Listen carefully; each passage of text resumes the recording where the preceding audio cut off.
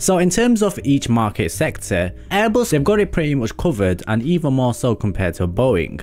For example, in the long haul market they've got the A380 and the A350-1000, for the medium they have the A350-900 and the A330 Neos, for the short haul market they have the Neo planes, and finally, which is a new avenue for the company, they've managed to penetrate into the regional market by the acquisition of Bombardier.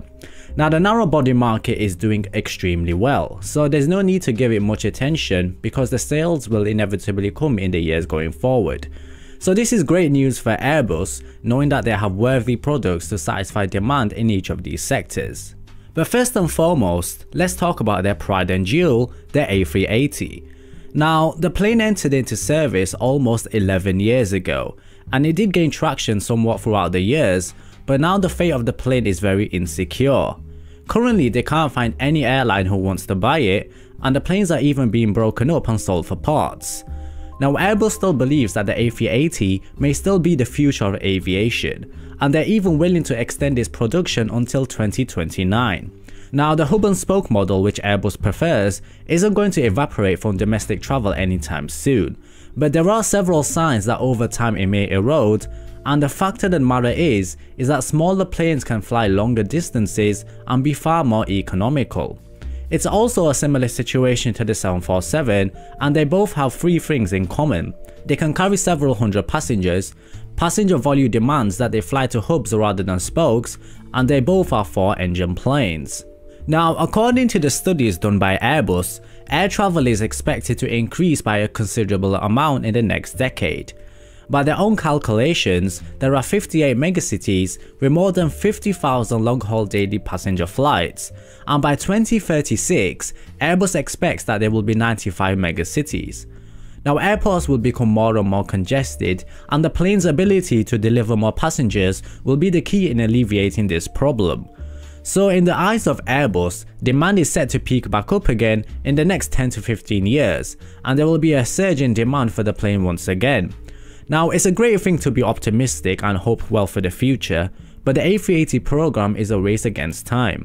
They're currently hoping that China will lead a revival in orders once demand for long-haul planes pick up again.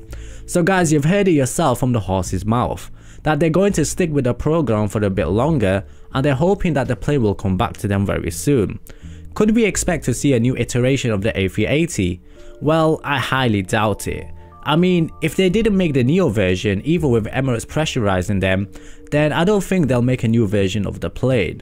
But of course that all comes down to if there's a huge demand by the airlines. Now, Airbus forecasts their demand over the next 20 years for 8,000 new twin aisle planes, and the family that will be leading this charge will be the A350 family. So essentially, the A350 is a mid-sized plane which is used for long-haul flights, and it's definitely shaping the future of air travel. Now the A350 family perfectly covers the 300 and 400 seat market segment, offering a long-range capability of around 8,000 nautical miles across the family.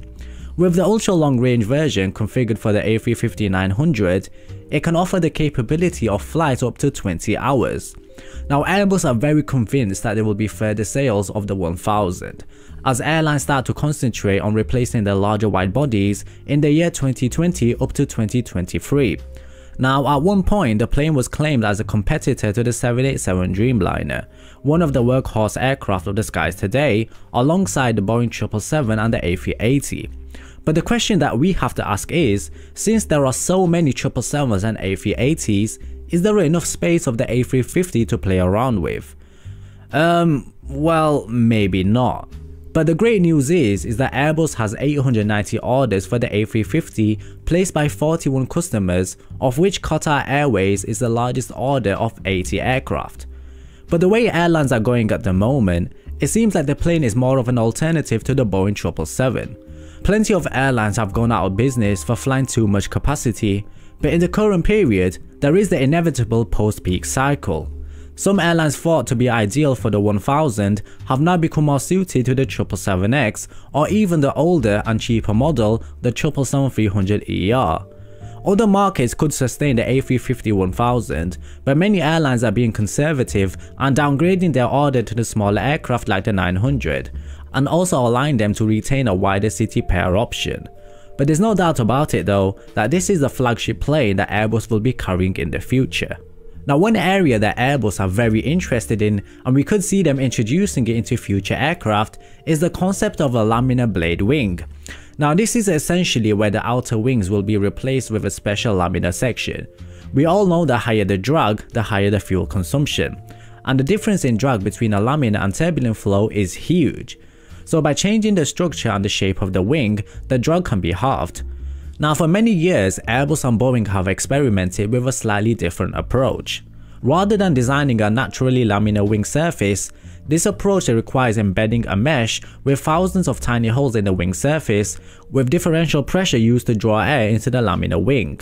Now Boeing in fact took the concept one step further with the Dreamliners, using a laminar flow control system in the leading edge of the vertical stabilizer. Now in theory it could work, but the execution of it is very difficult to achieve. But if it can be done, then a lot has to be gained. Now Airbus are expecting to conduct the first flight by the end of the year, and if the results gathered from the test are the same as Airbus have been expecting, then we could see mass production of this type being implemented into future aircraft.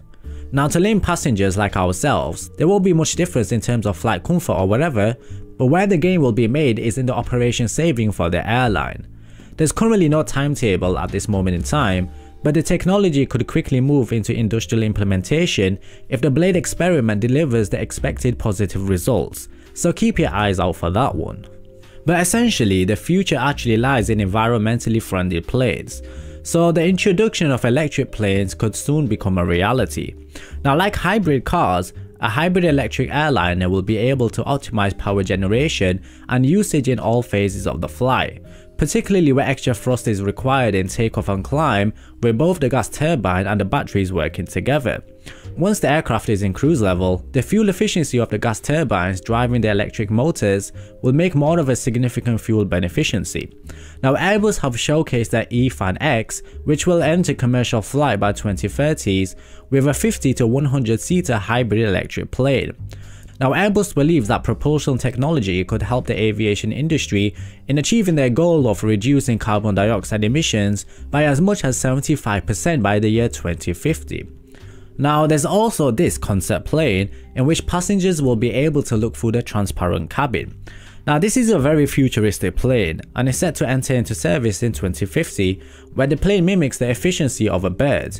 Now the plane would provide strength where needed and also allow the cabin to control the air temperature and it can become transparent giving amazing views. The cabin would also feature seats that would fit the passenger's body shape. So that's always great to know. Now Airbus have also said that passengers might be able to enjoy a game of virtual golf or take part in an interactive conference while the cabin identifies and responds to the traveler's need. But in essence, the plane will reduce fuel burn, emissions and waste by a considerable amount. So all in all, the future seems bright for the Airbus company, from the introduction of very fuel efficient planes to crazy concepts that will just blow your mind away. Now there's no doubt about it that the power battle between Boeing and Airbus will continue, each pushing each other to create better products and increase their market share. Now in terms of a brand new aircraft from Airbus, well, that doesn't seem like a possibility in the near future, because as same as Boeing, they'll be creating new iterations of their current designs and also delivering on the needs of their customers. So captains, that's all there is for me at this moment in time. A lot has been talked about in this video and I'm curious to hear what you guys have to say about this. Leave your thoughts and your opinions in the comments below. If you enjoyed the video then give it a like and also consider subscribing guys and I hope to see you in the next one.